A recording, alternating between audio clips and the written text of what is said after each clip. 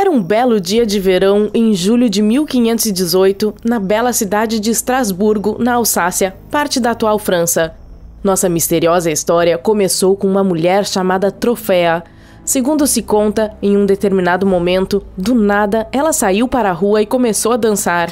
A questão é que aparentemente Troféa não gostava de dançar. Não havia sequer uma música tocando ao fundo.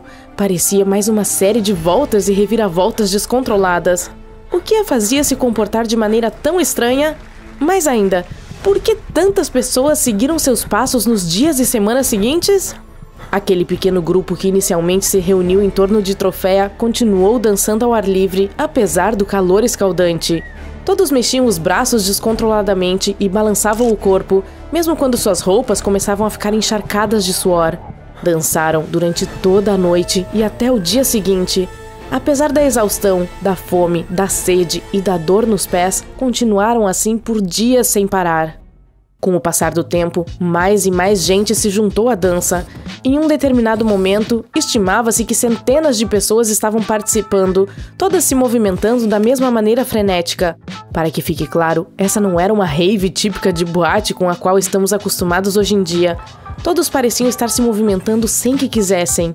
A dança continuou, mesmo quando algumas delas começaram a desmaiar na frente dos espectadores horrorizados. As autoridades tiveram que intervir em algum momento, mas não conseguiram explicar por que esse fenômeno bizarro ocorreu em primeiro lugar.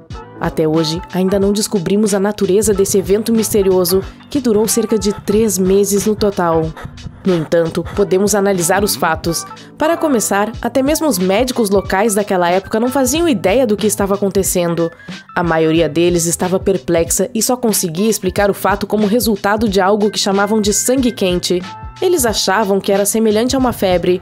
Será que poderia ter sido o ancestral da febre da discoteca? Dificilmente. Hoje em dia, com toda a tecnologia e informações disponíveis, isso não faz o menor sentido. A febre por si só não faz as pessoas dançarem.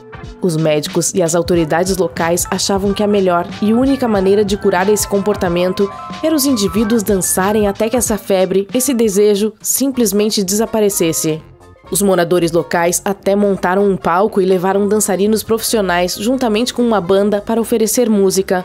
O estranho episódio finalmente terminou em setembro, quando os dançarinos foram levados ao topo de uma montanha na esperança de que pudessem pedir ajuda a algum tipo de espírito superior que pudesse acabar com seu sofrimento. Estranhamente, eventos semelhantes ocorreram na Suíça, Alemanha e Holanda, mesmo antes desse evento, mas nenhum foi tão grande ou tão sério quanto o de 1518. Anos depois do incidente, Paracelsus, um médico, escreveu uma série de livros sobre essa condição após o acontecimento em Estrasburgo. Ele era muito famoso por seu trabalho sobre o uso da química na medicina e acreditava que esse comportamento não era causado por má sorte ou forças não naturais, mas sim por algo no corpo das pessoas que lhes dava uma sensação de cócegas. Foi o que afetou o julgamento delas e causou os movimentos. Basicamente, o médico dizia que elas tinham um caso extremo de cócegas. Alguns cientistas afirmaram ao longo dos anos que o frenesi das danças foi causado por algum tipo de alimento que as pessoas comeram e que poderia tê-las deixado doentes. Houve aqueles que até sugeriram que o culpado poderia ter sido um fungo chamado ergot, que cresce em grãos usados para assar pão e tem uma substância química capaz de afetar seriamente o julgamento.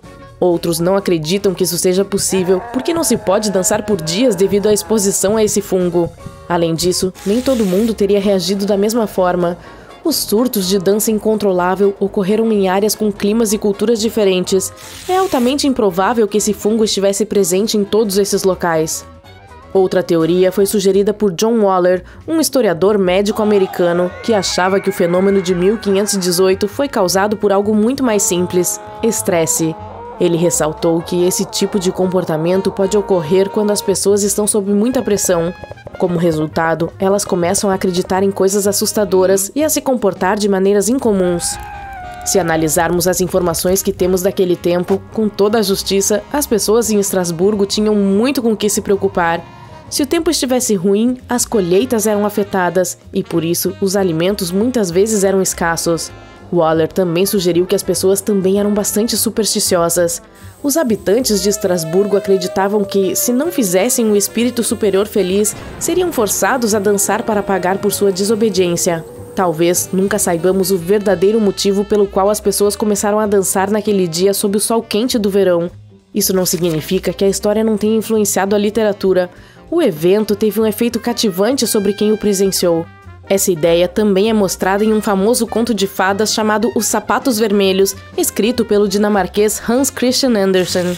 A história menciona um par especial de sapatos vermelhos que forçava o usuário a dançar até que ele simplesmente não aguentasse mais. Certamente havia outro significado, alertar contra a vaidade, mas também sugere que dançar pode se tornar problemático se for feito em excesso. Se você estiver em uma pista cheia de pessoas repletas de energia, talvez seja difícil ficar parado e se sentirá inclinado a pelo menos pular de um pé para o outro, e devido à pressão dos colegas, se não por causa da música. No entanto, não podemos nos esquecer de que a dança pode significar muito mais. Ela e a música são partes importantes da vida cotidiana em muitas culturas ao redor do mundo, e não há outro lugar na Terra onde isso seja mais valorizado do que na África. Nas culturas locais, as danças contam histórias e não são apenas para diversão. Elas falam sobre história, demonstram emoções e ajudam a unir as pessoas. Muitas tribos africanas são famosas por suas danças, como a Maasai da Tanzânia e do Quênia e a Zulu da África do Sul. Na maioria dos vilarejos africanos, todos se remexem ao som de tambores e toda a comunidade se junta, cantando e tocando junto. O que há de especial na cultura africana é sua dança policêntrica, isso significa que diferentes partes do corpo do dançarino se movem de acordo com as diferentes batidas da música.